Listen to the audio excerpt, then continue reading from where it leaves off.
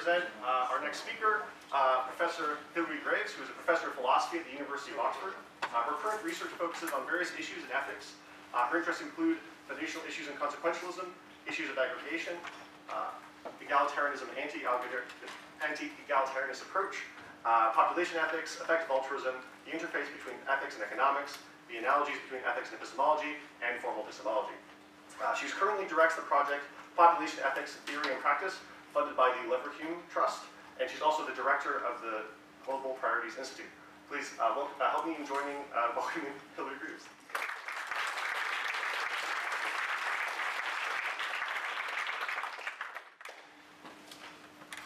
The theme of this conference is doing good together. What exactly does this mean? In this talk I want to disentangle two quite different things that it could mean uh, that are apt to be conflated with one another if we're not careful. The first one I'll call collectivism. This has been the focus of an often repeated criticism of the effective altruist movement um, over the years. Um, here the idea is that effective altruism errs in focusing only on what the individual can achieve by themselves, as it were, and not on focusing on what the community can achieve as a whole. I mean, we all know this, right? This is why effective altruists are so into these sticking plaster interventions like distributing malaria nets and why they never actually try to fix the underlying problem that caused the need for malaria nets in the first place. Okay, so that's the first idea, collectivism. Quite a different thing is coordination, which is about the extent to which we should be talking to one another and making joint plans when we decide what to do. What I'm going to be arguing is that the collectivist criticism of effective altruism is confused. I'm going to be arguing that we do not, at a fundamental level, need to be asking what the group can achieve rather than what the individual can um, however, that's not to say that we don't need to be thinking about coordination. So I think the organisers of this conference, when they talk about doing good together, are actually mostly or entirely talking about coordination. So they're saying the thing that I agree with, but many critics of effective altruism have been saying the thing I disagree with, and it's important that we don't get sucked into their claws. Okay, so what are these two ideas? Collectivism, as I indicated, is the idea that in certain decision situations, in particular in the context of attempting to solve some of the biggest problems that face the world, we find ourselves in this maybe peculiar situation where it's true of every individual who might try to intervene on that problem that that individual's marginal contribution makes not only a small difference, but actually precisely no difference um, to the extent to which the problem gets solved. Whereas when we consider a thousand, a million, a billion people engaging in similar actions simultaneously, now we've got a sufficiently large group that we can make a difference. Many people think this, for example, about the problem of climate change, where we consider the question of whether, if we're worried about climate change, there's a case for each of us individually to try to reduce our carbon footprint.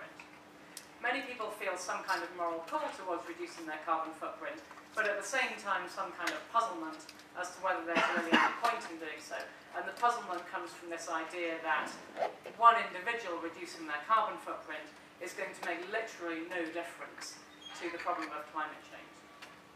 This is perhaps arguably suggested by Barack Obama, for instance. Obama was asked by one of his constituents, um, President Obama, um, I want you to tell me not what you're doing about climate change politically speaking, but what are you doing about climate change in your personal life? To which Obama is reported to have responded, well, Brian, we can't solve global warming because I effing changed light bulbs in my house. It's because of something collective. Another example where you might think you have this phenomenon, no individual can make a difference but the group can, um, is in the context of campaigning for revolution, political change, structural. So consider, for example, the 1963 March on Washington. This was an event in which one quarter of a million people marched on the White House demanding black rights, and that event is widely credited with partially bringing about the US 1964 Civil Rights Act. Imagine yourself now in the shoes of one of those people in that mass demonstration.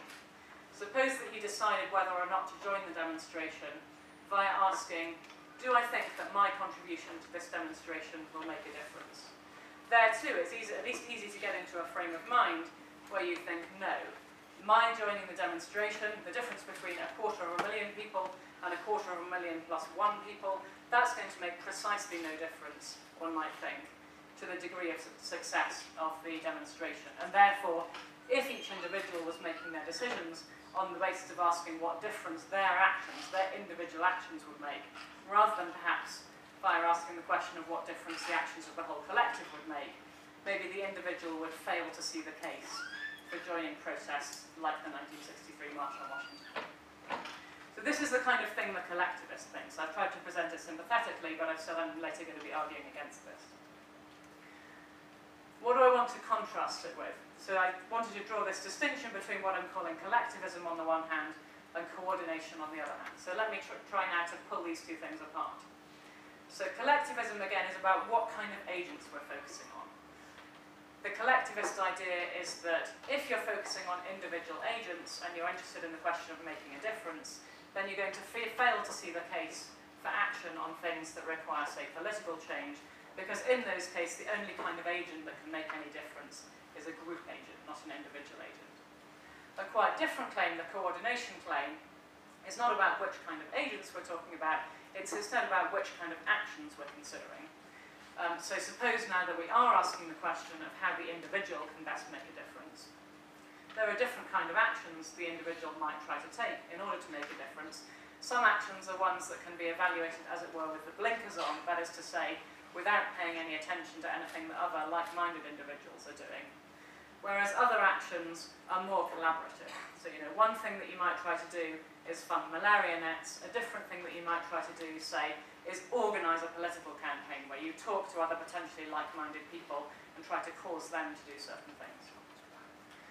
Um, so the coordination claim is that we need these um, individual actions that involve trying to coordinate with other like-minded agenda, uh, other, like-minded people, to be on the agenda when we're deciding how the individual can best make a difference. So that second thing I'm not going to be taking any issue with, um, but it's importantly different from the first thing, and I am going to argue against the first thing. First, let me convince you that I'm not just attacking a straw man here. So here is a person who says the thing that I disagree with. This is Amia Srinivasan, a moral philosopher, and the quote is from a piece she wrote called Stop the Robot Apocalypse, which is her critical review of William MacAskill's book, Doing Good Better. The robots, by the way, are the effective altruists. So Srinivasan says, there is a small paradox in the growth of effective altruism as a movement when it is so profoundly individualistic. The tacit assumption is that the individual, not the community, class, or state, is the proper object of moral theorizing. There are benefits to thinking this way, she now continues somewhat sarcastically. If everything comes down to the marginal individual, then our ethical ambitions can be safely circumscribed. The philosopher is freed from the burden of trying to understand the mess we're in, or of proposing an alternative vision of how things could be. Okay, so there, the bit that I've put in bold-faced and underlined is this idea that what the effective altruist is doing is talking about individual agents and not group agents. And then from that, she draws the consequence that this is why the effective altruist fails to see the case for political change and just obsesses about malaria nets all the time.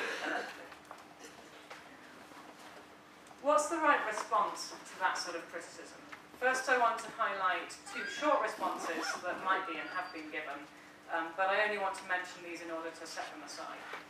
The first short response would be to say that this criticism attacks a straw man, that is to say, it's not in fact true that, the, that effective altruists ask only what individual agents can achieve and not on what group agents can achieve. I think there's some truth to that, but as I said, I want to set it aside. I also want to set aside a second short response one might give. Um, it's also something I have some sympathy with, um, although it's incompatible with the first. The second short response says, well, you know, it's true that effective altruists are only asking what difference the individual can make. However, they're correct to do so. So this suggestion is floated by Jeff McMahan in his response to Srinivasan. Uh, McMahan says, look, I am neither a community nor a state. I can determine only what I will do, not what my community or state will do. So there is the idea that, you know, yeah, maybe it is true that the individual can't make any difference to issues of political reform, but if so, that's a very good reason for not trying to do so. I can only affect my own actions, so that is indeed the thing I should be focusing on. I think there's a lot more to be said about both of these responses, and I don't necessarily disagree with either of them.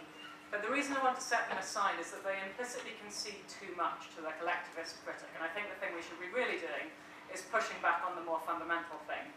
um, in the collectivist picture. The thing that it concedes and should not concede is that the collectivist conditional claim is true, where the conditional claim is if you were focusing only on individual agents, then that wouldn't necessarily lead you fail to see the case for action on political change. That's the thing I think we should more fundamentally push back on. So let me have a go at doing that. To do so, I want to pull a trick that philosophers often pull and that often annoys non-philosophers. So let me say what the trick is and say why you shouldn't be annoyed by it. It's a reasonable thing to be doing. The trick is to retreat temporarily from all the messy complexities of real-world scenarios and stipulate that we're talking about um, a very clean, simple, hypothetical case. So I'm going to be talking about an imagined world bearing some resemblance to the real world, but because it's my own imagined world, I get to stipulate away various complexities um, of how things actually pan out in the real case. The motivation for doing this is it's a tool for clarification. It's a bit like when the physical scientist you know, fundamentally wants to investigate something like the laws of Newtonian mechanics, but if you try to do that in a real world, there's all kind of mess going on, you know, there's wind interference, there's friction, blah, blah, blah. So instead of trying to do your experiments in a field, you construct a laboratory where you can screen off lots of the complexities, investigate things in a nice simple scenario, and then use the understanding you thereby gain to figure out better what's actually going on in the real world. So the philosopher is just doing an analogue of that thing. Let us talk about the simple cases first so we can clarify the fundamentals, then we'll go back to the real world, hopefully with a superior level of understanding. Okay, so here's the hypothetical case I want to talk about. A case of vegetarianism. Suppose for the sake of argument we all agree that chicken deaths are bad, and suppose that for this reason, if the situation we were in was one of having to go to the farm and saying to the farmer, you know, I fancy a chicken for my dinner tonight, so please kill that one there, and then the farmer duly wrings the neck of the chicken and we take it home and cook it for dinner. Suppose we all agree that in that decision situation, we would not buy the chicken because we think that whatever pleasure we might get from eating chicken is massively outweighed by the amount of badness involved in the chicken death. Okay, so far so good. What now of a different decision situation? One that's actually a bit more like the one we are actually in when we consider buying chickens. Vegetarianism in the supermarket. So consider now a case where the setup is such that you, know, you go to the supermarket, you consider whether or not to buy a chicken from the butcher's counter, and suppose for the sake of argument you know that the way this supermarket works is it's going to order another 25 chickens from, say, the farm, the slaughterhouse, with the result that another chicken, 25 chickens will be killed every time the 25th chicken is sold. So if you're, say, you know, the third or the 29th person, you buying a chicken doesn't trigger any more chicken deaths, but if you happen to be the 25th person or the 50th person, that triggers another 25 chicken deaths. Um, so suppose that many people buy one chicken each, you're considering whether or not to join their ranks, and for the sake of argument, let's stipulate that on the day in question, precisely 578 people buy a chicken from the supermarket in question. But no individual knows this. So you as the individual shopper at the time of your decision don't have access to that information. You just know it's a pretty big supermarket and you know, who knows how many chicken purchases there are going to be in total. Okay, so the question now is, do you still have the same kind of reason in this decision situation to refrain from buying a chicken as you did in the situation where you had to buy it from the farm and directly cause its death? It looks like the situation might be relevantly different, or at least the collectivist thinks it is. So the collectivist thinks, no, in the supermarket case, if you're asking about the effect of the marginal individual, if you're just asking what difference you make by buying chicken, then you won't see the case for being vegetarianism, for being vegetarian, because it's overwhelmingly unlikely, at least, in that scenario, that your buying one chicken is going to make any difference at all to the number of chickens that get killed. However, difference to the number of chickens that get killed if this whole big group of 578 people chooses to buy chickens versus not. So you might think that this is a case that by collectivist lights is relevantly similar to the situation of, say, joining a campaign for political reform.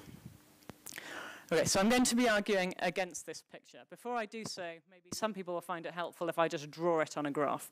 So in this graph, the vertical axis represents the total amount of harm done by all chicken purchases put together. So in this case, total amount of harm done is number of chicken deaths, while the horizontal axis represents the total number of people, including yourself if you join in, who buy chickens on the day in question.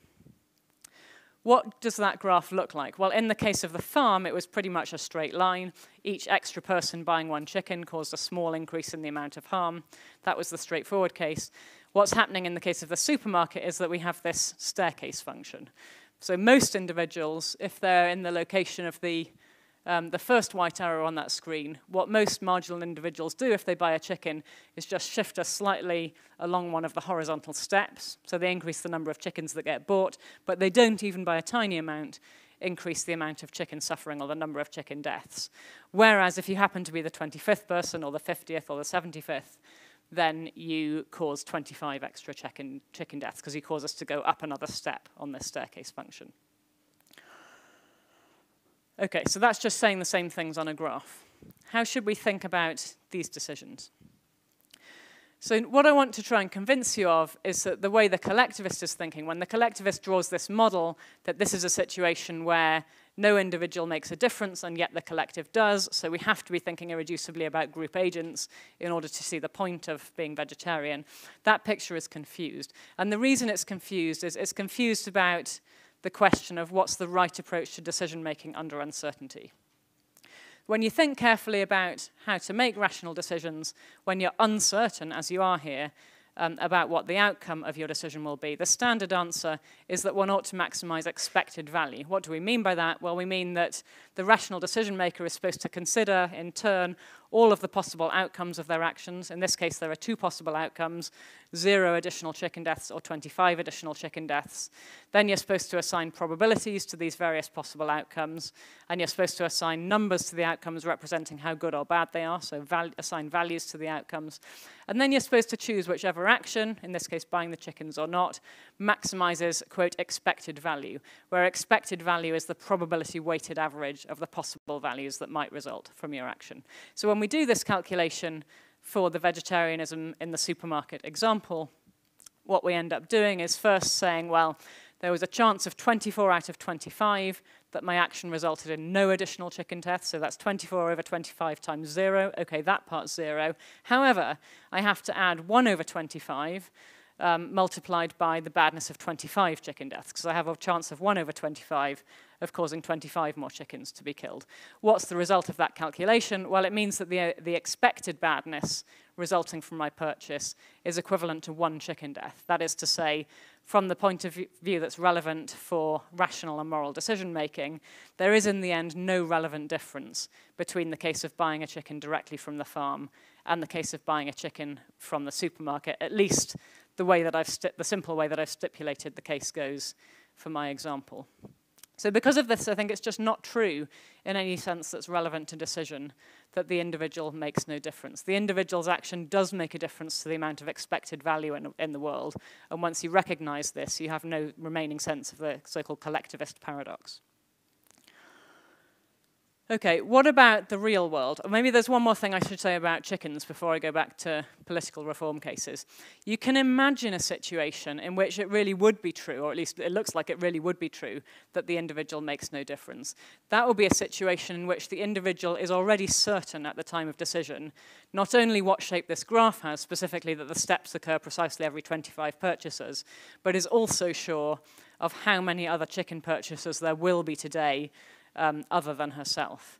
If you were in that epi epistemic situation, and if it was in fact true that the chicken deaths get triggered every 25 chicken purchases and that the number of chicken purchases besides yourself is, say, 578, then you really could be sure that your buying a chicken would make no difference to the number of chicken deaths. And furthermore, it could be the case that every other person in that supermarket is in the same epistemic situation. So it could be true of all 579 of you at the same time that no, none of your individual actions makes any difference to the number of chickens who die, and yet the actions of the collective do.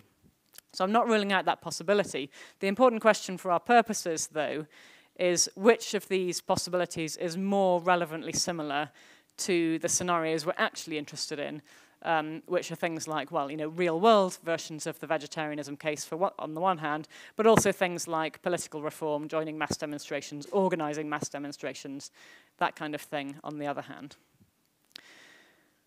I think it's just completely implausible to suppose that cases like climate change and political reform are relevantly similar to the nice, clean version of the vegetarianism case, where you can be absolutely certain that your action has no difference. Consider for a minute what it would take for that to be the case. It would have to be the case um, for the March on Washington.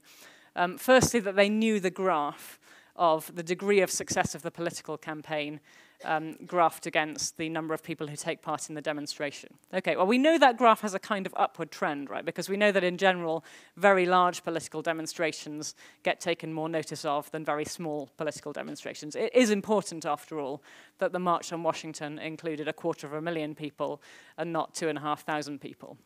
But what we don't plausibly know is precisely where the steps occur on that graph. And even if we did, it wouldn't be any help to us because no individual demonstrator, when deciding whether or not to join the demonstration, has any precise idea of how many demonstrators there will end up being aside from herself.